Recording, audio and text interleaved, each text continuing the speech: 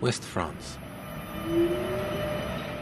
It's where a new theoretical group has been set up on the Nantes University campus. It's led by Chris Ewels.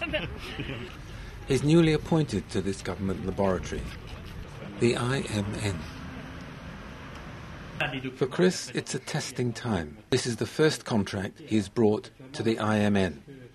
It's the project that will make his reputation here. The project started already for me. It started about a year ago when we started to prepare things, but now it's actually kicking off. For a start, that means that I've got money, so I can um, I can hire Irene because there's a large empty desk over there at the moment, and it'd be nice to have somebody to help out. Uh, my role in the project it will be modeling um, some of the defects on the nanotubes. And that involves you moving from Sussex to Nantes in France. Yes. Is that a nice idea or a lousy idea? Um, it seems like a nice idea, um, but I don't speak French at the moment, so well, very very little. Uh, learning it for two months ago, I started learning it, so that's scary but uh, exciting. So the first thing for the project for me is to get that all kind of storytell it. We've, we've got a lot of results and we've got a lot of ideas about what we think is happening, where the atoms are going, how these nanoparticles are moving and forming. But it's, it's quite a step to go from having these kind of slightly woolly ideas to really constructing a, a robust story that tells the whole story of what's going on. I guess being a modeler, does that mean your background is mathematics? My background is chemistry, physical chemistry. Um, and my PhD is in uh, uh, computational materials. These are some computer generated images that I've done. Just for fun, really. I've just taken the structures and, and played with them a bit. So, yeah, this is a carbon nanotube. You can see quite well the structure of the tube with the hexagons all the way along its length. These blue dots are the carbon atoms, and these little rods connecting them are meant to be the bonds. It's very um, schematic. But we don't really know, you can't really say what they actually look like at the scale, so it's, it's a fairly arbitrary choice. So, blue balls and little grey sticks is as good as anything. So, this is it. And these are single walled carbon nanotubes that have been purified. So these are reasonably expensive. This is about $500, I think. Very, very light. And you can see when you, when you tip them over, see the cloud, because, because they're so light, they, they descend very, very slowly, which is also one of the um, health and safety issues. They, they rest in the air if you're not careful, so you should always, at the moment, wear masks and things for these. But you can see when they descend, they're very, um, you probably can't see with the camera but even after the main ones descend, there's still some tubes left in the air. Right, we want to just talk a little bit about how the calculations are done, what's the real nitty gritty. So, so I tell it what the title of the calculation is for me, how many electrons there are, what I want it to do. In this case, I want it to move just a certain number of the atoms, not all of them. Um, and as I scroll down through that, here's a list of all the atoms, one, two, three, four, five, all the way down. And then I've said these are either carbon or hydrogen, they're bonded to these atoms, and here's their position. So it's just a big table of all the positions of the atoms. And that's, all their, that's my initial guess at all their positions, which may or may not be right. So then I run the computer program, I just type in a command and off it goes. And then once it reads it in, it'll chunder away for a day or whatever, and it spits out an output. And here's a typical output.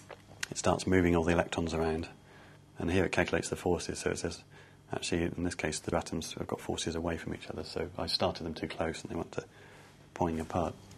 So it does the first, first loop round and it, it moves them apart and says, right, here's the new energy.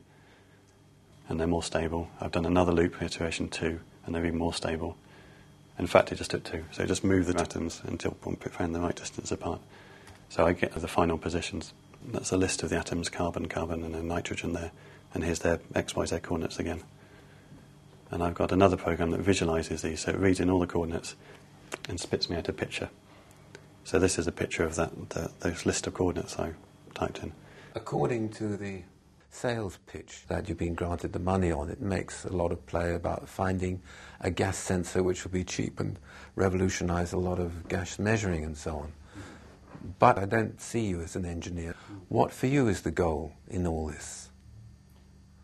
I think it would be nice if we could make some nice gas sensors, but for me, that's not the not the, well, for my personal motivation is not to make gas sensors. It's to understand the chemistry of what's going on and to understand exactly how the carbon and the metal are interacting and how the atoms are, are rebonding and how these structures are changing. But you could imagine using nanotubes with other materials like oxides. So, yeah, uh, just a complete off the top of my head, you could use oxides to trap sunlight and generate electrons and holes, and then the nanotubes could take the electrons away as an electric current. So then you built a solar cell. You've got a kind of nanoscale based solar cell. But in order to do that, you need to understand exactly how these little nano oxide particles interact with the nanotubes. Will the electrons transfer into the nanotubes or will they stay on the. So the interface, understanding your interfaces at this level, you've got to get, understand all that before you can then really start to develop all these new applications. What's exciting for me, I think, is what we haven't seen yet. That over the three years, as we start to understand this more, we'll start to say, oh, well, if this goes on, then maybe we could do this, and maybe this will happen, and, and there'll be spin offs.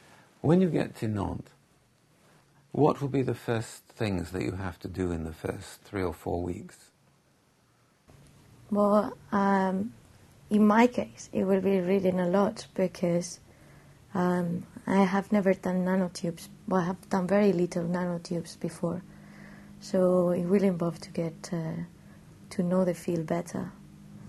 What do you do outside science? Um, well, there's lots of different things. Um, I do singing in a choir. Well, I used to when I was in Sussex and Exeter, and also when I was in Paris. But because we're newly arrived in Nantes, I haven't joined anything yet, so that's my New Year's resolution to find a choir and start singing. And otherwise, I mean, a lot of my time at the moment is taken up with Anna and with the family, because our daughter's two and a half now. And so she's, uh, she's too, too much fun. I could spend a lot of time playing with her and with Flo, my wife. And um, we're doing a lot of DIY on the flat because we've just bought a flat in Nantes and the kitchen's being redone, and we're trying to do as much as we can ourselves. So luckily, Flo's dad is a bit of a DIY expert, and he's training me up. Because at the moment we've got a whole bunch of holes in the wall where I drilled too far through the wall. So that's the trouble of being a theorist. I've got to learn some of these practical skills. Both. I wouldn't say we're short of money, but the sciences aren't paid well, and particularly in France, I'm paid about, about half of what I was. I was discussing a post in Britain, which was twice the pay for here. But it's fine for um, for living because the living costs are lower here, and, and we're not particularly extravagant. we I, am not really motivated by money. I shouldn't say this on film, but I, I, think I'm, I'm, doing a job I enjoy, and that's the thing that is, is important. And I'm earning enough, and we're happy as a family. So um, our needs aren't particularly extreme. But of course, it would always be nice. It would be nice to get rid of the mortgage, and it'd be nice to have a bit more financial freedom. But I like the modesty of science as well.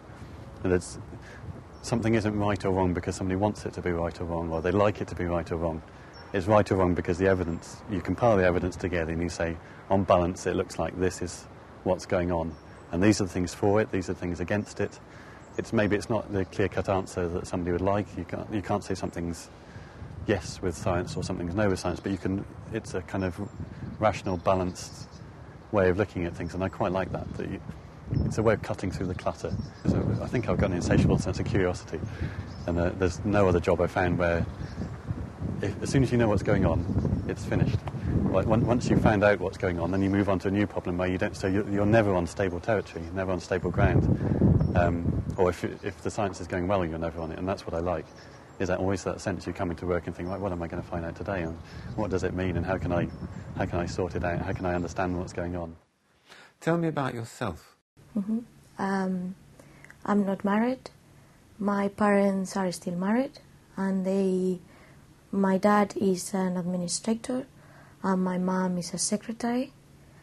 Um, I have one brother who does uh, computer. Well, he's still in university, um, studying computer science uh, in Madrid. I'm from Madrid originally, and I live there well, in the suburbs of Madrid all my life until four years ago, where I moved to England to do my PhD.